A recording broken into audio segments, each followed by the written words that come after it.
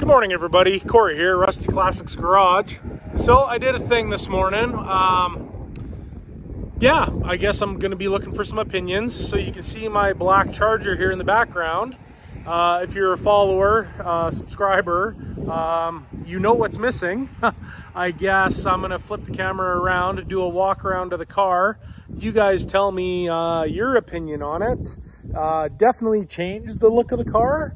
Um, I guess if you don't know what's missing, let me know because that'll tell me another story altogether.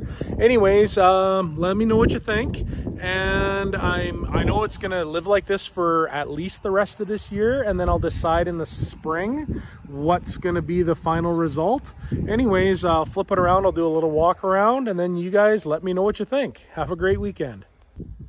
Okay, so if you can tell what's missing, great, you're an excellent follower.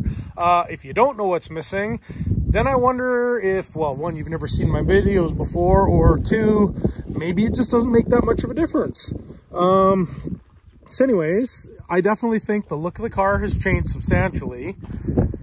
I'm a pretty big fan of this. However, I, I really grew on me the way the car was. So yeah, post up in the comments if you notice what's different. Uh, and then, of course, give me your opinion because you know what?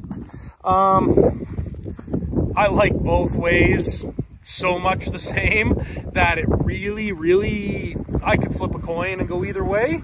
So maybe, maybe subscriber fan opinion will sway me one way or the other. Uh, anyways, have a good weekend and uh, let me know what you think.